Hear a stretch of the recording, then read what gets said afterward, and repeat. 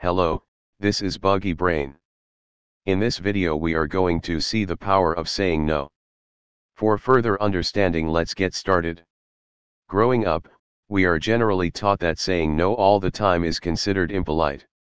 And while young children have no problem using the word freely, sometimes as adults we need reminding of our right to it. It's one thing to want to help others, but people who feel as though they simply can't say no suffer from an uncontrollable need for approval, and they may have deep-seated fears of anger and confrontation. As the late, acclaimed psychologist Dr. Harriet Braiker pointed out in her New York Times bestseller, The Disease to Please, Curing the People-Pleasing Syndrome. For many, the difficulty may start innocently enough with genuine and generous attempts to make others happy. But this seemingly harmless passion to always be nice, to put others first and to compulsively please them even at the expense of your own health and happiness rapidly spirals into a serious psychological syndrome with far-reaching physical and emotional consequences. It's obvious that continually adding to a heavy workload because you can't say no to anything risks causing physical exhaustion. But we are less likely to consider how emotionally unhealthy it is too. Always shelving our own needs and desires to meet someone else's effectively sends out the message that we don't deserve to have our own needs met, both to ourselves, as well as others, who may then take advantage. Of course, there are numerous situations where agreeing to things we don't want to do is inevitable or essential. Every parent and most employees will be used to this on a daily basis, and even people with healthy boundaries would find it impossible to say no in such circumstances.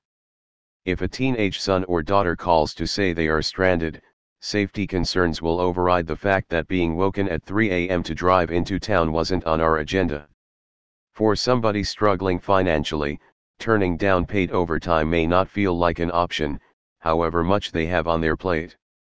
But if there's the expectation you'll drop your own plans, or lose sleep, to provide a regular unpaid taxi service, or to work late every time a report is dropped on your deck at 5 p.m., learning how to say no gracefully, assertively, and firmly is an essential skill for you to master.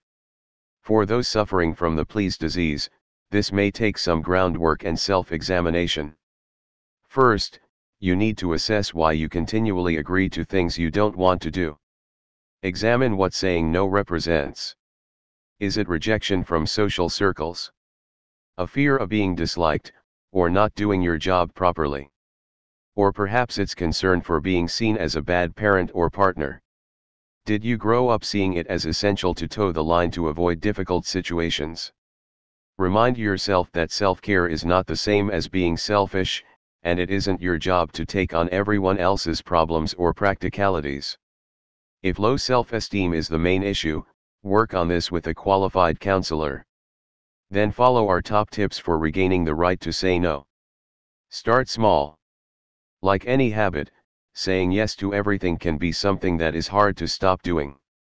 Some people will find it a lot easier to say no to things than others. Start with little things and build up from there. Give yourself time. If your default response is to immediately agree, say that you need to check arrangements. Just be sure that you don't let this turn into a period of procrastination and guilt. Focus on the positives of a negative and your desired outcome. Saying no to something that isn't a fit for you means being able to say yes to something that is. Be prepared for some people to be taken aback or try to persuade you, particularly if they are used to you agreeing to everything. Stay polite but firm. Try to avoid rambling explanations. That sounds lovely but I have plans on Friday, is enough. As American etiquette expert and author Judith Martin once acknowledged, part of the skill of saying no is to shut up afterwards and not babble on, offering material for an argument.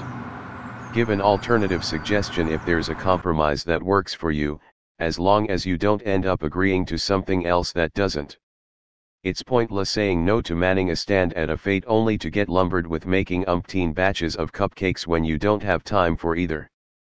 Finally, if you regularly struggle with how to answer a request or demand, heed this simple line of advice from Brazilian novelist Paulo Coelho, if you must say yes, say it with an open heart. If you must say no, say it without fear. Hope you learned and enjoyed this video, subscribe to Buggy Brain News Corner for more update.